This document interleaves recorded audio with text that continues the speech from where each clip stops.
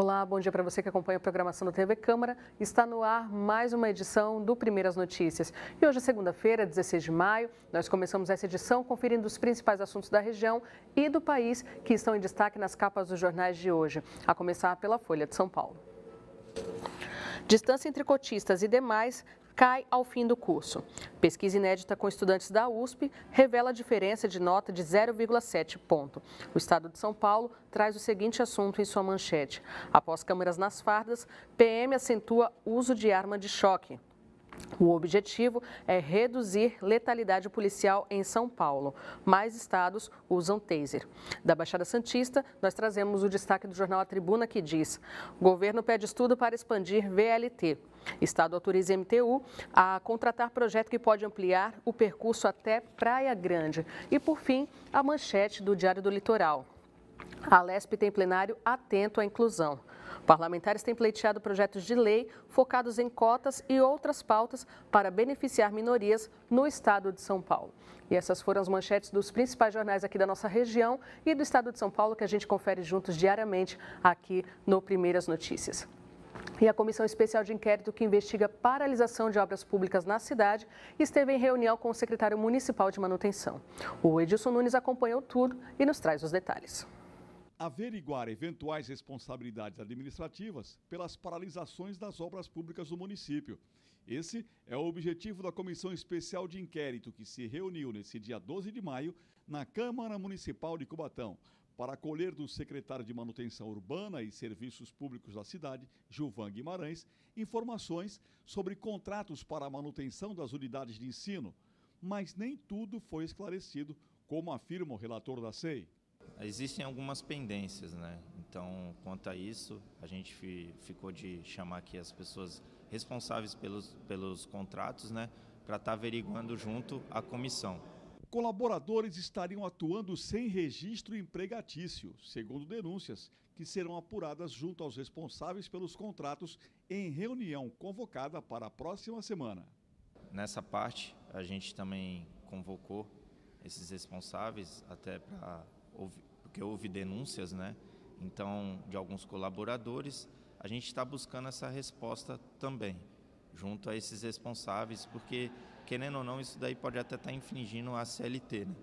Ficou para a semana que vem, quarta-feira, a gente está chamando aqui os responsáveis, a gente está dialogando, conversando, tirando essas pendências, né, essas dúvidas dos vereadores, junto com a comissão.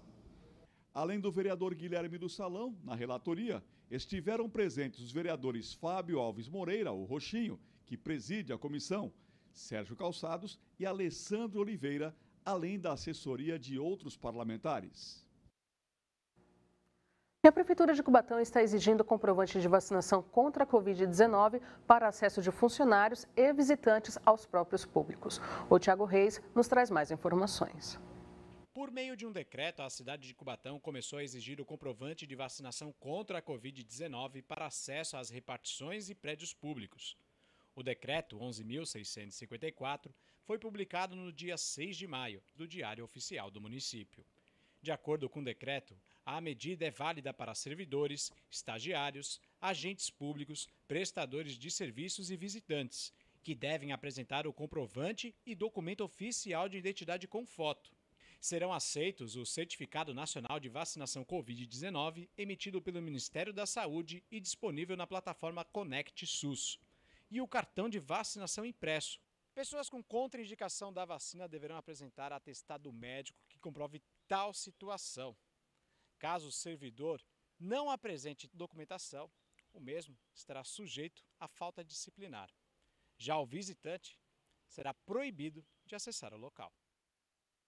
Muito bem, e a passagem de uma frente fria faz com que a semana comece com clima instável e temperaturas mais amenas aqui na região. Veja os detalhes na nossa previsão do tempo.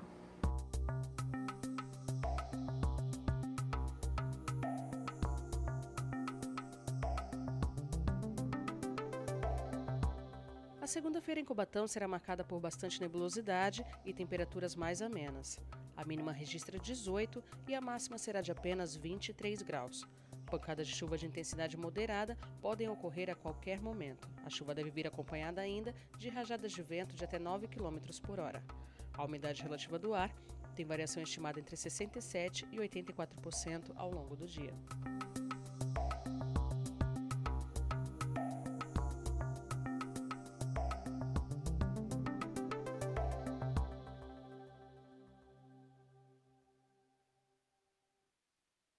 E o Serviço de Controle de Zoonoses voltou a realizar a feirinha de adoção de animais em frente ao Parque Nilinas. A próxima edição do evento será realizada no dia 27 desse mês. Confira. Está de volta a feirinha de adoção de animais promovida pelo Serviço de Controle de Zoonoses da Prefeitura Municipal de Cubatão em parceria com a ONG Mais Bichos. Quinzenalmente, cães e gatos estarão expostos à espera de uma nova família, bem em frente à entrada do Parque Anilinas, na altura do 2275 da Avenida 9 de Abril. A próxima montagem está prevista para o dia 27 de maio. Não serão apenas os animais do serviço de zoonoses que estarão na feirinha. Quem tiver seu pet para doação também poderá participar, como explica o responsável pelo evento.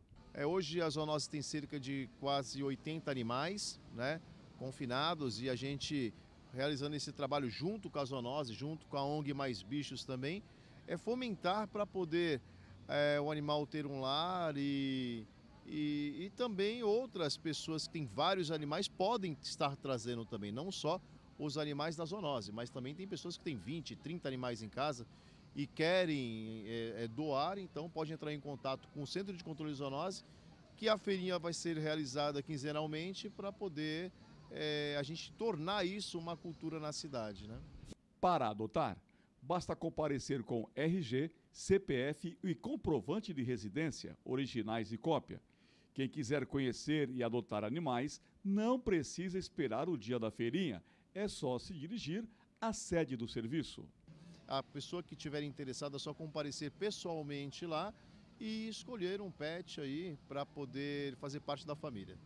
O endereço do Serviço de Zoonoses de Cubatão é Rua João Paulo II, número 100, no sítio Cafezal. O telefone para contato é o 3375-2259.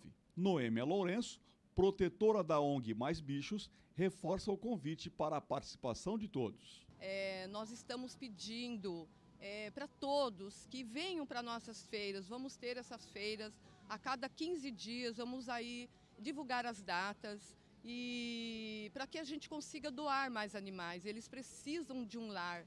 Posso estar enganado, mas o gatinho branco está ganhando uma nova família.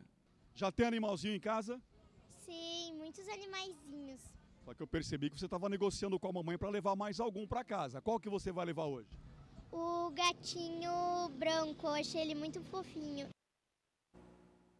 E chegado o momento do esporte, aqui no Primeiras Notícias. Atletas cubatenses conquistaram medalhas na Copa São Paulo de Karatê. Eles fazem parte de um projeto social desenvolvido na escola Luiz Pieruzzi. Veja na matéria do Washington Luiz. Atletas do projeto social Quem Cubatão participaram da Copa São Paulo de Karatê Circuito Open Nacional. Tiago dos Reis e Arthur Cunha conquistaram a terceira colocação. David Gregório foi campeão em Santos da etapa paulista. Agora, Anthony do Nascimento e Luísa Alves conquistaram a medalha de ouro e todos classificados para a etapa paulista. Orgulho do sensei Alain Vicente. É, rapaz, e foi um resultado quase que esperado, assim. E o que me surpreendeu foi o, o Tiaguinho do Catar, né, que tinha bastante gente, e conseguiu a terceira colocação. Porém, eu costumo dizer que nós, como nós somos um projeto social e nós só temos o material humano e o tatame para treinar, qualquer resultado é de grande valia, né? E o circuito Open Nacional, que é a Copa São Paulo de Karatê, ela dá ranqueamento para a seleção brasileira no futuro. Por isso que é importante e eu fiquei muito contente com o resultado, com poucos atletas que eu levei. Aliás, o Anthony já está com você um tempinho também, foi o campeão, né? O trabalho do fruto de fruto realizado aqui, não é? Com certeza. O Anthony ele treina comigo desde os seis anos de idade, né? Um garoto estudioso, mora na comunidade e é estudioso. Hoje estuda na Federal e decidiu voltar a competir. Nessa que ele decidiu voltar a competir, eu levei ele em três eventos, dois ouro e um prata. Inclusive agora ele foi ouro também. O meu treinamento até agora foi bem intenso, ainda mais por causa que alguns meses atrás teve a seletiva lá em Fortaleza, que era para o sul-americano. Infelizmente não passei, fiquei em quarto lugar, mas também é uma, uma posição muito boa comparado ao que eu tinha vindo treinando ultimamente e competindo. E a Copa São Paulo, para mim, a parte mais a parte mais difícil da competição foi que como o meu CC tinha que trabalhar, ele teve que sair antes de eu competir. Então eu literalmente competi sozinho, eu e mais ninguém. É, é importante conquistar ouro. Também pela Copa São Paulo de Karatê, disputado no ginásio do Ibirapuera, em São Paulo, outro atleta que se destacou, elevando o nome da cidade de Cubatão, foi Luciano Moreira. Ele conquistou o ouro na categoria Masters 75 quilos. É, eu fui assim, foi uma vitória pessoal, né? Eu tô, peguei Covid no passado, quase fui embora, né? Foi uma resiliência e eu fico feliz pelo resultado, né? Foi bem bacana, peguei um atleta de diadema na final e foi uma luta dura para mim em todos os sentidos. Agora veio participa, participação de atletas do Brasil todo, não é? Sim, foi uma competição bem, bem, a, bem bacana, porque a Copa São Paulo agora é uma competição aberta para o Brasil todo, tá? Então houve mais de 800 inscritos, né? Mais de 1.200 confrontos, tá? Pessoal de Minas, outros estados também estiveram presentes também. E foi bem bacana, legal, assim, eu acho que agregou muito, mais uma vez, para minha para minha carreira como atleta aí. Dizer, o nível da competição foi bem alto, o que valoriza mais os atletas da cidade de Cubatão e você, não é? Ah, sim, eu fico feliz por essa, por essa por sua palavra, pela sua atenção. É, agora classificado para as finais do Paulista agora, que acontecerá em maio. Vai ser bem bacana e mais uma vez, se eu conseguir essa classificação, mais um ano de seleção paulista. Então, é de grande felicidade acontecido isso comigo nesse momento. Parabéns aos nossos atletas. E pelo Campeonato Brasileiro, o Palmeiras voltou a vencer. E o Santos, fora de casa, ainda não venceu. Confira os gols dos times paulistas. Sexta rodada do Campeonato Brasileiro, o Palmeiras venceu o Bragantino por 2 a 0. Scarpa cobra falta pelo lado direito e Danilo completa de cabeça, Verdão 1 a 0. E de pênalti sempre ele, Rafael Veiga amplia vantagem. E terminou assim: Palmeiras 2, Bragantino 0. No Morumbi, o São Paulo atacou, atacou, mas nesta jogada aí a defesa do tricolor se atrapalha. Alisson aproveita e chuta. A bola bate na trave e na volta Genilson toca pro gol vazio. Cuiabá 1 a 0. Pênalti para o São Paulo que gerou muita reclamação do time do Mato Grosso. Caleri cobra e empata o jogo 1 a 1. Outra reclamação dos jogadores cuiabano. Segundo eles, jogada normal, mas o árbitro expulsa Jonathan Cafu. Com um a mais, o São Paulo foi para cima e Nicão marca o gol da vitória. Reparem que a bola ainda bate no zagueiro do Cuiabá. Final, São Paulo 2, Cuiabá 1. O Internacional de Porto Alegre com Alan Patrick saiu na frente do Corinthians no Beira Rio confusão na pequena área Colorado. Gustavo aproveita e deixa tudo igual, um a um.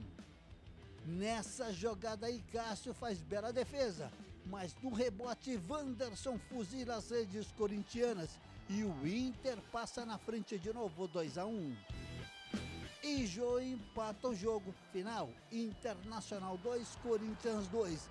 Resultado que ainda mantém o timão na liderança do Campeonato Brasileiro.